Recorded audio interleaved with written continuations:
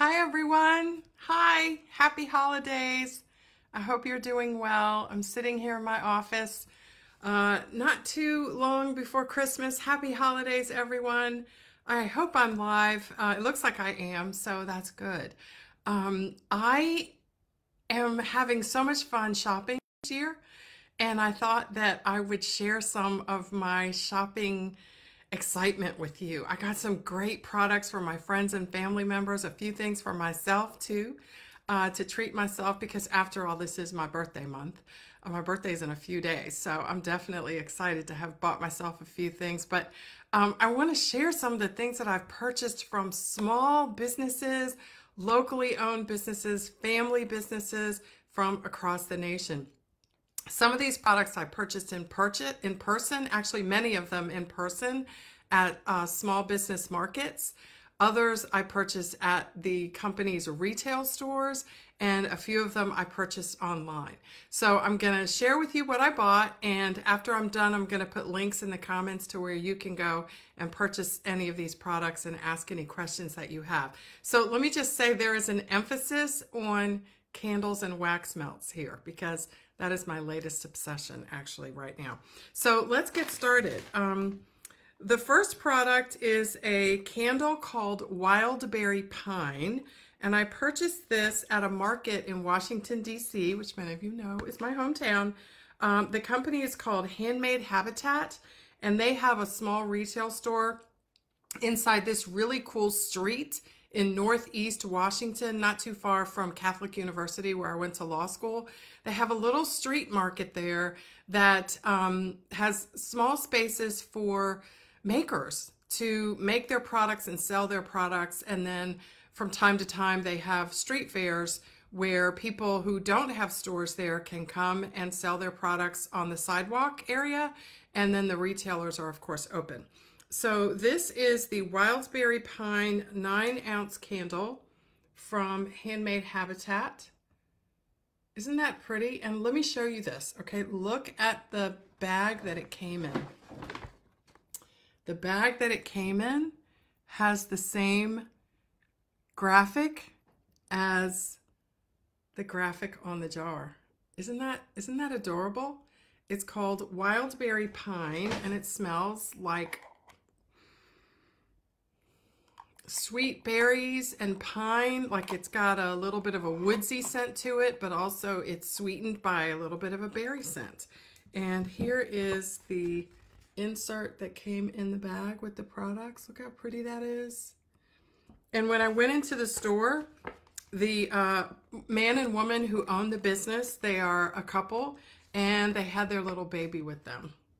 And it was really sweet to see the baby just kind of, you know, the um, the dad was holding the baby and the mom was, you know, walking around showing me things and helping me purchase. And this is what I got. So handmadehabitat.co is the website. And uh, so that's the first product. Super excited to share. Okay, so the next one is one of my indie business network network members right here in North Carolina. This is one of my favorite, favorite, favorite, favorite, favorite candle brands. Not just because the candles are awesome, but because uh, the, the maker, the founder and CEO of this company um, has just become a friend of mine and she's here in North Carolina, which is cool. She's also a soror. Shout out to Delta Sigma Theta. Um, and she also is very committed, not just to making awesome candles, but to hiring people in her local community. She does a really great job of training and just introducing people in her very, very, very small town in North Carolina to the, the beauty of entrepreneurship and giving them confidence and helping them learn how to do videos and how to be professional and how to run a business. It's just really so inspiring. The company is called Southern Elegance and their products are focused on candles and wax melts and they also have other things in their line, but their focus um, is candles and, and home fragrance. Um, their focus is on uh, scents of the South, Southern elegance, right? And I love this box. Look at this, like it's very sturdy. Your candles will probably not arrive broken at all unless somebody actually tries to do it. So I love that. This is the front of the box. The side of the box continues with really nice branding. There's information about the company on the back of the box, more information about scented candles and so forth, and how the candles are made in small batches and their burn time and everything. And there's the bottom of the box, nice, pretty sort of bronzy gold kind of matte color. So let me open it up for you so you can see what's in here. It's a candle, obviously. And uh, look at these candle jars. Isn't that nice?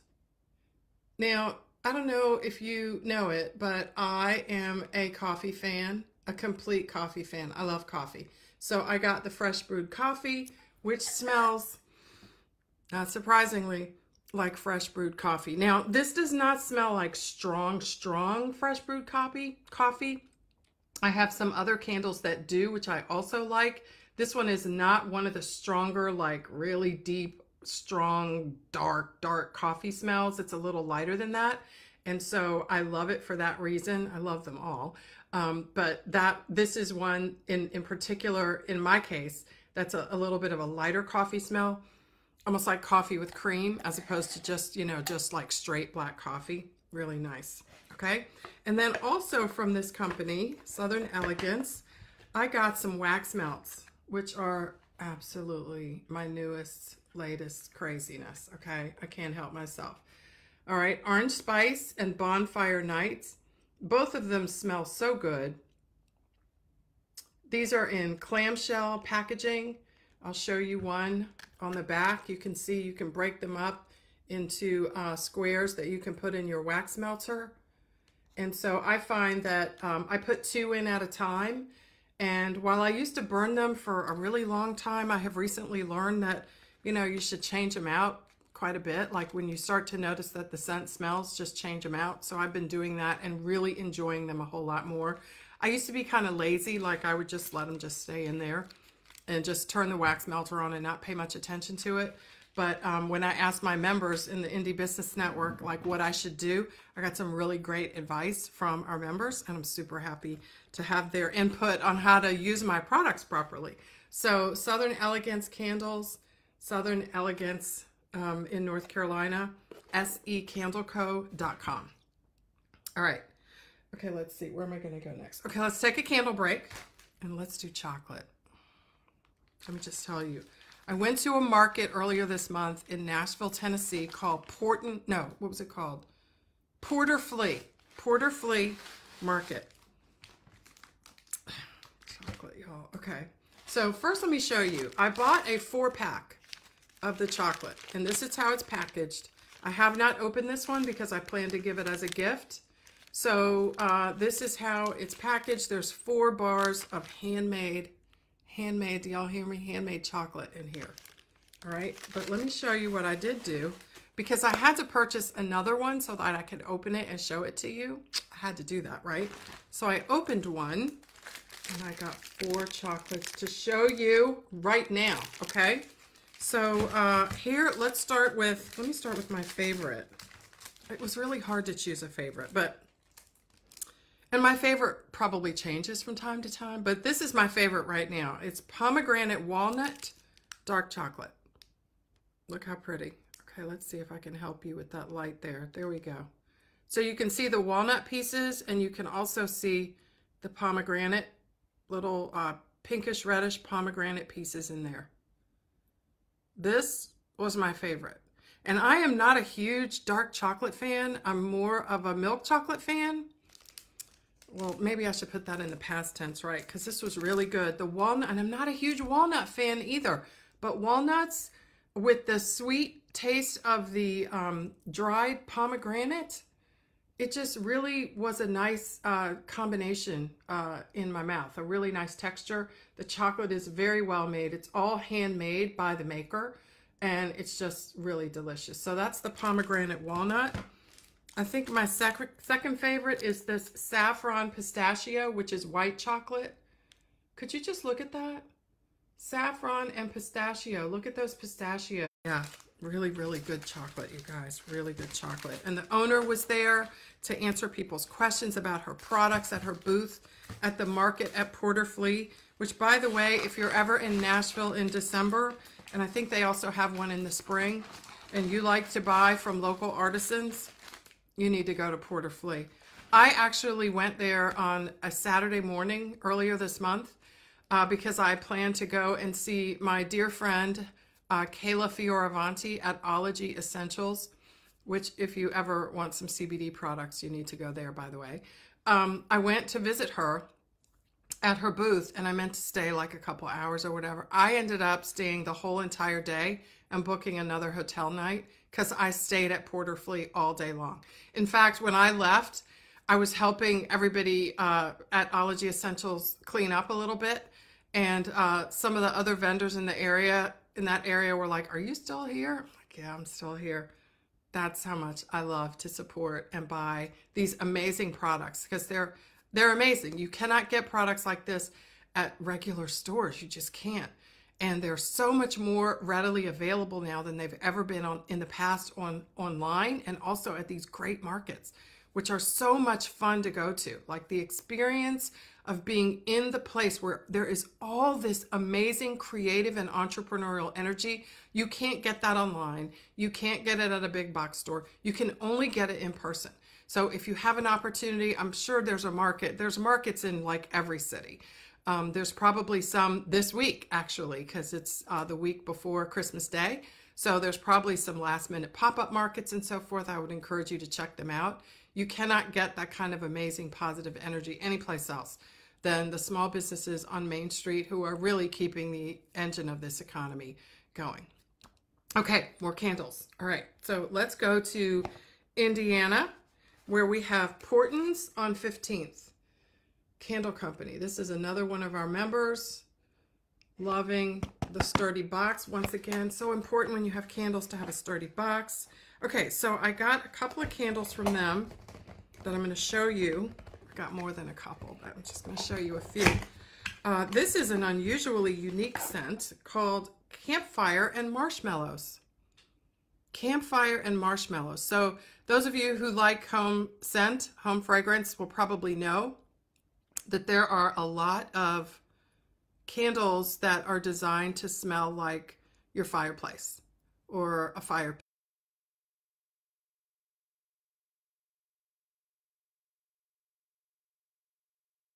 shape of little leaves. Can you see that? Yes, you can. Let me show you. Let me take one out so you can see the wax melt in the shape of a leaf. How cute is that? Like, you know, most of the times they come in clamshells. These come in a little jar of leaves. Oh, look, there's the price tag, $10 a jar. All right, so it looks like maybe there's about 20 in here or something. And I didn't count them, so don't hold me to that. Um, but this um, is from Hemp Wick Candle at hempwickcandle.com. Again, didn't have a chance to visit in person, but I got them online. So the scents that I got are um, Holiday Nog, which is, uh-oh, I've mixed them up. Okay, so I have two, I have, I have two boxes of these, but what's interesting is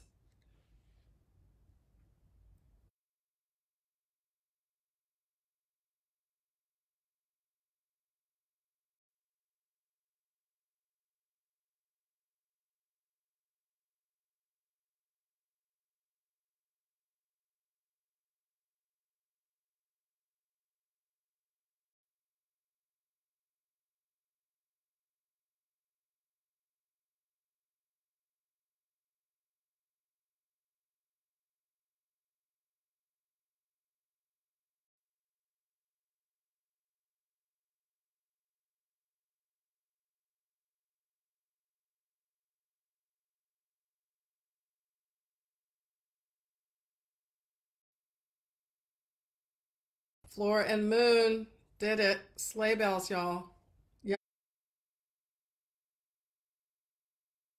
Yum. Okay, so this is supposed to smell like pine, balsam, and bergamot. How can you not? Like, it smells so good. I'm totally not acting. I'm not overreacting. I just love it. And the good thing about this is that I bought two, because I had to get one for me because it's my birthday month. Like, isn't it great? Like, you know, there's a drawback to having a birthday in December. And that drawback is that um, when you're growing up, people bring you one present for your Christmas and your your birthday. Like my my parents didn't do that. My parents always separated. They were awesome. But other people who bring you gifts and you're grateful, I'm grateful. But all my birthday presents would be wrapped in holiday wrap. You know, mm, I was thankful, but um and I'm always thankful and grateful, but it's just an observation, okay? So I always make sure I treat myself on my birthday, which you should too, no matter when your birthday is. But I digress. Anyway, sleigh bells, it's really, really, really nice. Okay, so I'll be burning candles for a while. But if you have any great candles that you want to tell me about, doesn't mean I won't buy some more. You know, some people buy music, some people buy shoes, purses, you know, whatever. I buy candles. I do. I do. It's a thing. Okay. So also, because I bought so many candles,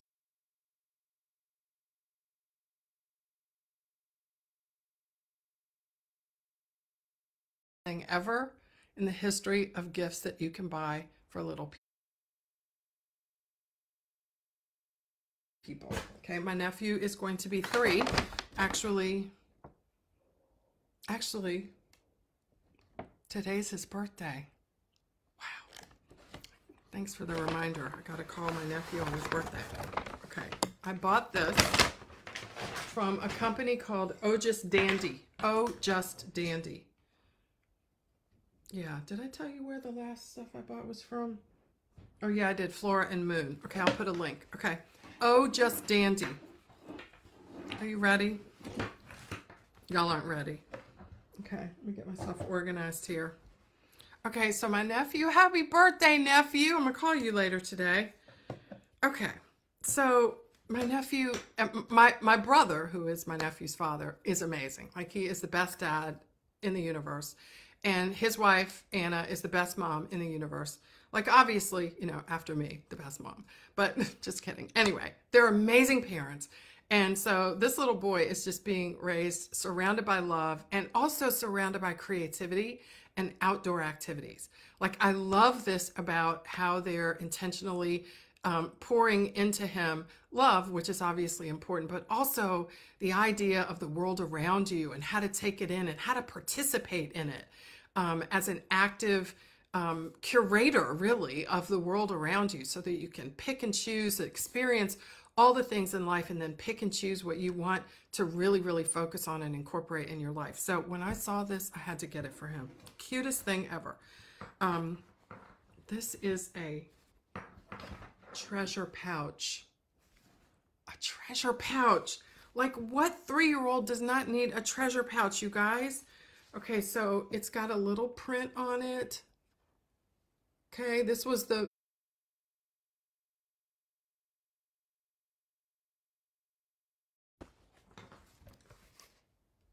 Sorry. I got myself a treasure pouch. Yes, I did. So I guess adults would call this a fanny pack. I don't know. Anyway, I just thought I had to have one, right? The grown-up version, right? And kind of the girly version too, because, you know, girly. Look at that. I can put my little treasures in there. I'll probably use it as a um, as a fanny pack. Like when I go on Indie Cruise, I'm going to Cabo next month on Indie Cruise with my members. Shout out, right? We're going down to Cabo San Lucas. We're going to go whale watching and exploring in Mexico. I'm going to take my treasure pouch with me. So excited. Okay, so after I saw the treasure pouch for him, look what I also saw and also had to get. Right, treasure pouch. Y'all, it's the matching backpack. Can you sand it? Look at this. Is that some of the cutest thing? It matches. The fabric is matching. This was actually, I think, the only matching one she had, and I was so excited about that. So look, there's some uh, vegan uh, faux leather down here, and you can see it's adjustable. Look how adjustable it is on the back. And look at the front. Got a little hook at the top so he can hang it like, you know, in the mudroom or whatever. It's a snap. I think it's a snap. Is it a snap? Yeah, it's a snap. You unsnap it. That's the first time I unsnapped it. So it was a little, oh my goodness. It's a snap and a zipper. Oh, just dandy. Thought of everything. Look at this. So it's not just a snap, it's also a zipper and it's also lined. Look how well made that is. My mother is a seamstress, not a professional one, although she could have been. So I know good quality sewing when I see it because I grew up with it. My mother made my father's ties, y'all, ties and suits, suits that he wore to work. Whew. Okay. Look how cute. I just think it's the cutest thing. And then you snap it shut. Oh, just dandy, y'all. And she was just delightful. Like, as I was walking around Porter Flea, which is where I got this, every time I passed by her table or saw her through the cracks amongst the people, I would just wave at her, and she always waved back at me. She was so kind and so fun and so nice. So, listen, you know, I'm going to have to do a part two because believe it or not, this is not everything. I have some other amazing handmade artisan products. I don't know when I'm going to have time to share those with you, but I will. It'll be before I wrap them um, because they're not wrapped yet. Nothing's wrapped, as you can see. Um, but I hope you enjoyed this and I hope you are inspired.